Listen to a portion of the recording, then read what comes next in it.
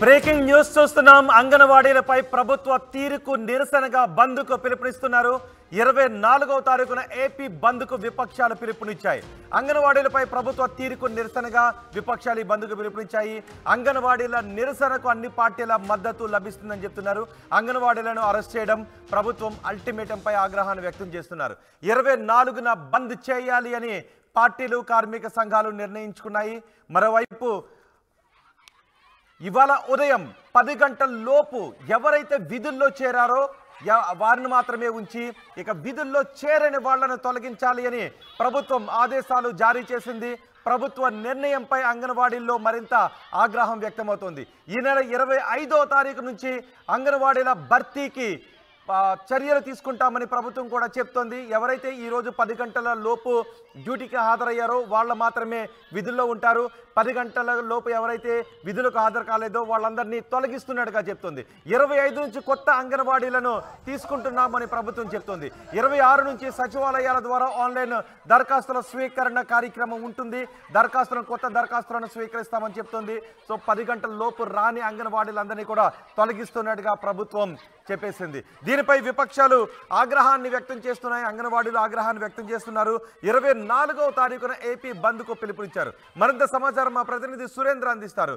సురేంద్ర ప్రభుత్వ తీరుకు నిరసనగా అంగన్వాడీల ఆగ్రహాన్ని వ్యక్తం చేస్తున్నారు. ఇరవై నాలుగున అన్ని పార్టీలు కూడా బంద్కు పిలుపునిచ్చాయి. ఏమన్నారు? ప్రభుత్వ అధికారులు ఏం చేయబోతున్నారు? ఎస్ రోహిత్ ఇరవై నాలుగో తారీఖున రాష్ట్ర వ్యాప్త బంద్కు అయితే అంగన్వాడీలు పిలిపించాయి. అంగన్వాడీలకు మద్దతుగా వామపక్ష పార్టీలను కూడా దాదాపు తొమ్మిది వామపక్ష పార్టీలు కూడా బంద్ని నిర్వహిస్తామని చెప్పి ఇప్పటికే ప్రకటించాయి. అయితే గతం నుంచి కూడా అంగన్వాడీలు ఆందోళన చేస్తున్న నేపథ్యంలో అంగన్వాడీలకు మద్దతుగా టీడీపీ కూడా సపోర్ట్గా నిలిచింది. ఇటు కాంగ్రెస్ కూడా నిలిచింది. ఇరవై నాలుగో తారీఖున ఈ పార్టీలు కూడా బంద్లో ఉంటాయని చెప్పి అంగన్వాడీ సంఘాలు అయితే చెబుతున్న పరిస్థితి. ఎందుకంటే రేపు అప్పీల్ చేయబోతున్నారు ఇతర టీడీపీకి సంబంధించి జనసేనకి సంబంధించి కాంగ్రెస్ సంబంధించి పార్టీ నేతలకైతే రేపు అప్పీల్ చేయబోతున్నారు. ఇప్పటికే వామపక్షాలు అంగన్వాడీలకు సంబంధించి మద్దతుగా నిరాహార దీక్షలు కూడా కూర్చున్న పరిస్థితి. ఇరవై నాలుగో తారీఖున ఉమ్మడిగానే బంద్కి అయితే పిలిపిస్తున్నారు. మరొక పక్క యస్మాన్ అంగన్వాడీల మీద యస్మాన్ ప్రయోగించారు. పది రోజుల్లో హాజరు కాకపోతే ఖచ్చితంగా తొలగిస్తామంటూ ఇప్పటికే ఆదేశాలు జారీ చేశారు. టర్మినేషన్ లెటర్ ఇవాళ ఉదయం పది గంటల లోపు ఎవరైతే ఉద్యోగాల్లో జాయిన్ అయ్యారో వాళ్ళకి మాత్రం ఉంచి తరువాత అందరినీ కూడా టర్మినేషన్ లెటర్లు ఇవ్వాలని చెప్పి ఇప్పటికే నోటిఫికేషన్ ఇచ్చిన పరిస్థితి కనిపిస్తుంది. ఇరవై ఐదో తారీఖు నుంచి కొత్త నోటిఫికేషన్ అయితే రాబోతుంది. కలెక్టర్ ఆధ్వర్యంలో ఆ నోటిఫికేషన్ రాబోతుంది. ఇరవై ఆరో తేదీన కొత్త రిక్రూట్మెంట్ సంబంధించి అప్లికేషన్స్ మీ సేవ లేదా సచివాలయాల్లో తీసుకుంటామని చెప్పి ఇప్పటికే చెప్పిన పరిస్థితి కనిపిస్తుంది. అయితే అధికారులు మాత్రం వెనక తగ్గట్లేదు. ఇటు ప్రభుత్వం కూడా వెనక తగ్గట్లేదు. ఖచ్చితంగా టర్మినేషన్ లెటర్లు ఇవాళ ఇస్తాము. ఇరవై ఆరో తారీఖున ప్రభుత్వం ఏదైతే చెప్పిందో దాని ప్రకారం రిక్రూట్మెంట్ స్టార్ట్ చేస్తామని అధికారులు అయితే చెప్తున్నారు. అధికారుల తీరుకు నిరసనగా అంగన్వాడీలు కానీ ఇటు వామపక్ష పార్టీల నేతలు కానీ విపక్ష నేతల పార్టీలు కానీ అందరూ కూడా ఆందోళన అయితే చెందుతున్న పరిస్థితి. ప్రభుత్వ తీరునైతే వ్యతిరేకిస్తున్నారు. ఖచ్చితంగా ఇరవై నాలుగో తారీఖున బంద్కి బంద్ చేస్తామంటూ వాళ్ళంతా చెప్పిన పరిస్థితి. ఈ రోజు కోటి సంతకాలకు సంబంధించి దాదాపు అంగన్వాడీలు సమ్మెలోకి వచ్చిన తర్వాత నలభై రెండు రోజుల పాటు వివిధ ప్రాంతాల్లో సమ్మె నిర్వహించారు. వాళ్ళంతా ఆ ప్రాంతాల్లో వాళ్ళకి మద్దతుగా వేతనాలు పెంచాలంటూ లేదా వాళ్ళ డిమాండ్స్కి ప్ర ప్రజల నుంచి మద్దతు కూడగట్టారు. దాదాపు కోటి సంతకాలను అయితే చేశారు. ఆ కోటి సంతకాలను తీసుకొచ్చి ఈరోజు సీఎం జగన్మోహన్ రెడ్డికి ఇస్తామనే నేపథ్యంలో ఉదయం నుంచి కూడా భారీగా అరెస్టులు చోటు చేసుకున్నాయి. అర్ధరాత్రి మూడు గంటల నుంచి కూడా నిరవధిక దీక్షా శిబిరాలని ధ్వంసం చేయడం కానీ లేకపోతే అరెస్టులు చేయడం కానీ ఇవి ఇప్పటి వరకు దాదాపు నాలుగు గంటల వరకు కూడా దఫదఫాలుగా అంగన్వాడీ అరెస్టులు అయితే జరిగిన నేపథ్యం కనిపించింది. ఈ పరిస్థితుల్లోనే సీఎస్ ఈ రోజు నోటిఫికేషన్ అయితే విడుదల చేశారు. ఇరవై ఐదో తారీఖున కొత్త నోటిఫికేషన్ ఇవ్వబోతున్నాం. ఇరవై ఆరో తారీఖున అప్లికేషన్లు తీసుకుంటామని చెప్పడంతో ఇటు వామపక్షాలకు సంబంధించిన నేతలు కానీ టీడీపీ జనసేన కాంగ్రెస్ పార్టీకి సంబంధించిన నేతలు కానీ అంగన్వాడీకి సంఘీభావంగా ఉంటామని చెప్పిన పరిస్థితి. ఇరవై నాలుగో తారీఖున మొత్తం రాష్ట్ర బంద్ అయితే నిర్వహించే పరిస్థితి కనబడుతుంది రోహిత్. ఓకే కానీ ఈలోపు లోపు ప్రభుత్వం కూడా చాలా దూకుడుగానే ఉంది. ఎవరైతే పది గంటల లోపు డ్యూటీలోకి రాలేదో వాళ్ళందరినీ తొలగిస్తున్నట్టుగా ఆదేశాలు జారీ చేశారు. సో ఏంటి పది గంటల లోపు ఎవరెవరు వచ్చారు? పది గంటల తర్వాత ఎంతమంది రాలేదు? వాళ్ళందరినీ తొలగించి ఇరవై ఆరు నుంచి సచివాలయాల్లో ఆన్లైన్ దరఖాస్తుల స్వీకరణ చేపడితే ఏంటి పరిణామాలు ఎటువైపు వెళ్ళే అవకాశం ఉంది? అంటే ఇప్పటికే మనం అంగన్వాడీ రాష్ట్ర అధ్యక్షురాలు బేబీ రాణితో ఆర్టీవీ ఎక్స్క్లూజివ్గా మాట్లాడింది. ఉదయం నుంచి సమ్మె చేస్తున్న నేపథ్యంలో ఆవిడ కొంత బయట ఉన్న పరిస్థితి ఎక్కడ కూడా అందుబాటులో లేదు. ఎవరికి పోలీసులకి రా కనబడకుండా రహస్యంగా ఆవిడ ఉన్న పరిస్థితి. అయితే ఆర్టీవీ ఆవిడ దగ్గరికి వెళ్ళి మాట్లాడింది. సిఎస్ ఇచ్చిన నోటిఫికేషన్ సంబంధించి బేబీ రాణితో కూడా మనం మాట్లాడడం చాలా స్పష్టంగా చెప్పారు. దాదాపు ఇరవై శాతం మంది విధులకు హాజరయ్యారని ప్రభుత్వం లెక్కలు చెబుతుంది. కానీ ఆన్లైన్ యాప్ల ద్వారా చూడండి ఎంతమంది వచ్చారో అని చెప్పిన పరిస్థితి ఎక్కడా కూడా అంగన్వాడీలు విధుల్లో చేరలేదని చాలా స్పష్టంగా చెప్పు చెప్తున్న పరిస్థితి ఇరవై శాతం ఇప్పటికే అంగన్వాడీ సెంటర్లకు వచ్చారని ప్రభుత్వం చెప్తుంటే ఆ లెక్కలన్నీ కాకి లెక్కలంటూ అంగన్వాడీ యూనియన్ నాయకులు అయితే కొట్టిపారేస్తున్నారు. ఖచ్చితంగా మేము ఆ ఆందోళనలో ఉండగా ఏ విధంగా మీరు నోటిఫికేషన్లు ఇస్తారో ఏ విధంగా రిక్రూట్మెంట్ చేస్తారో మేము కూడా చూస్తామంటూ ప్రభుత్వానికి హెచ్చరికలు అయితే జారీ చేస్తున్నారు.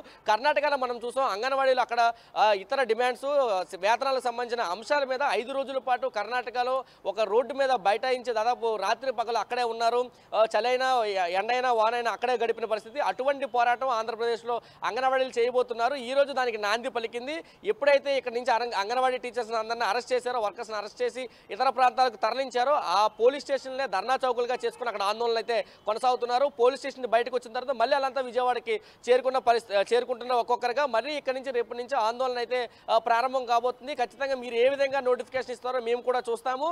మా పోరాటాన్ని అయితే మీరు ఎన్ని సర్కులర్లు ఇచ్చినా ఎన్ని జీవోలు ఇచ్చినా ఎంత నోటిఫికేషన్ చేసినా మా పోరాటం మాత్రం ఆగేది లేదంటూ అంగన్వాడీ టీచర్స్ అయితే చాలా కరాఖండిగా చెప్తున్న పరిస్థితి కనిపిస్తుంది రోహిత్. అంటే ఇప్పుడు ఎవరి పట్టులో వాళ్ళు వెళ్ళిపోతారా? ప్రభుత్వం ఏమో కొత్త అంగన్వాడీలకు నోటిఫికేషన్ ఇచ్చి ఇరవై ఆరు నుంచి దరఖాస్తుల స్వీకరణ అంటోంది. సో అంగన్వాడీలు ఇరవై నాలుగు నుంచి సమ్మె అంటున్నారు విపక్షాలు సమ్మె అంటున్నారు. అంటే ఎవరి పట్టులో వాళ్ళు వెళ్ళే అవకాశం ఉందా? లేదంటే మరోసారి చర్చలు జరిగే అవకాశం ఉందా? ఇప్పటికే ఆరు సార్లు అయితే అంగన్వాడీలతో చర్చలు జరిగాయి. ప్రతిసారి కూడా మిగతా పదకొండు డిమాండ్లు అంగన్వాడీకి సంబంధించి సమ్మెలోకి వెళ్ళినప్పుడు పదకొండు డిమాండ్లు వాళ్ళు ప్రధానంగా పెట్టారు. దాంట్లో ప్రధానమైన డిమాండ్లు గ్రాట్యుటీ కానీ కనీస వేతనం కానీ ఈ రెండు అంశాల మీద ప్రభుత్వం అయితే పట్టువిడుపులకి పోతున్న పరిస్థితి.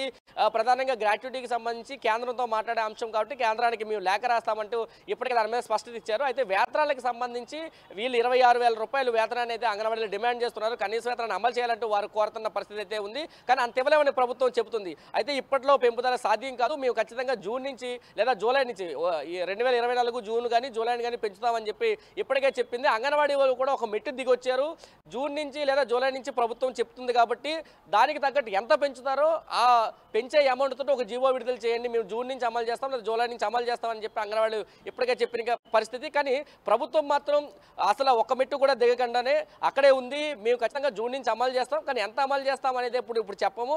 దానికి స్పష్టమైన హామీ హామీ ఇవ్వమని చెప్పి ప్రభుత్వం చెప్తుంది. మాకు స్పష్టమైన హామీ ఇవ్వండి. ఇరవై ఆరు వేలు కాదు కనీసం వెయ్యి పెంచుతారా రెండు వేలు పెంచుతారా ఐదు వేలు పెంచుతారా ఒక స్పష్టమైన హామీ ఇవ్వండి.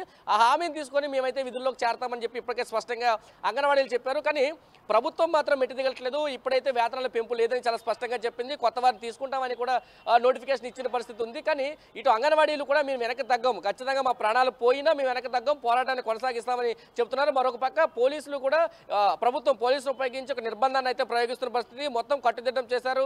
సెక్షన్ థర్టీన్ అమలులో పెట్టారు. సెక్షన్ వన్ ఫార్టీ ఫోర్ని ఇక్కడ అమల్లో పెట్టారు. నలుగురు కలిసి ఎక్కడ కనిపించినా కానీ ఖచ్చితంగా అరెస్ట్ చేస్తాము. ఇతర కేసులు నమోదు చేస్తామని ఇప్పటికే పోలీసులు హెచ్చరికలు చేసినా ఉదయం. నుంచి కూడా భారీగా దాదాపు పదిహేను వేల మంది ఈ రోజు విజయవాడకి చేరుకున్నారు. ఆందోళన చేస్తున్నారు. ఈ జీవో సర్కులర్ వచ్చిన తర్వాత ఈ పోరాటం మరింత ముందుకు తీసుకెళ్తామని అంగన్వాడీ లీడర్స్ అయితే ఇప్పటికే చెప్తున్న పరిస్థితి కనిపిస్తుంది. రోహిత్. రైట్ సురేంద్ర అంగన్వాడీలు సమ్మెను ఉధృతం చేస్తున్నారు. అంగన్వాడీలు ఇరవై నాలుగో తారీఖు నుంచి బంద్కు పిలుపునిస్తున్నారు. అంగన్వాడీలు విపక్షాలు కూడా తోడవుతున్నాయి. ఈ నెల ఇరవై ఆరున బంద్కు విపక్షాలు పిలుపునిచ్చారు. అంగన్వాడీలపై ప్రభుత్వ తీరుకు నిరసనగా బంద్ అని చెప్తున్నారు. అంగన్వాడీల నిరసనకు అన్ని పార్టీల మద్దతు ఉంటుంది అని చెప్తున్నారు. అంగన్వాడీలను అరెస్ట్ చేయడం ప్రభుత్వం అల్టిమేటంపై ఆగ్రహాన్ని వ్యక్తం చేస్తున్నారు. ఇరవై నాలుగున బంద్ చేయాలని పట్టీలు కార్మిక సంఘాల నేతలు పిలుపునిచ్చారు. మరోవైపు ఇవాళ ఉదయం పది గంటల లోపు విధుల్లో చేరని వారిని తొలగించాలి అని ప్రభుత్వం ఆదేశాలు జారీ చేసింది. ప్రభుత్వ నిర్ణయంపై అంగన్వాడీలో మరింత ఆగ్రహం వ్యక్తమైంది. ఈ నెల ఇరవై ఐదు నుంచి అంగన్వాడీల భర్తీకి ఇరవై ఆరు నుంచి సచివాలయాల ద్వారా ఆన్లైన్ దరఖాస్తుల స్వీకరణకు ప్రభుత్వం శ్రీకారం చుడుతోంది. దీనిపై అంగన్వాడీలు దేనికైనా సిద్ధమని అంటున్నారు. ముఖ్యంగా అంగన్వాడీలు జీతము గ్రాట్యుటీ విషయంలో ఎక్కువ పట్టుబడుతున్నారు. ఈ విషయంలో ప్రభుత్వానికి అంగన్వాడీలకు మధ్య సయోధ్య కుదరడం లేదు. దీంతో అంగన్వాడీలను అత్యవసర సర్వీసుల విభాగంలోకి తీసుకొస్తూ జియో జారీ చేసి అంగన్వాడీలపై ఎస్మాను ప్రయోగించింది ఆంధ్రప్రదేశ్ ప్రభుత్వం.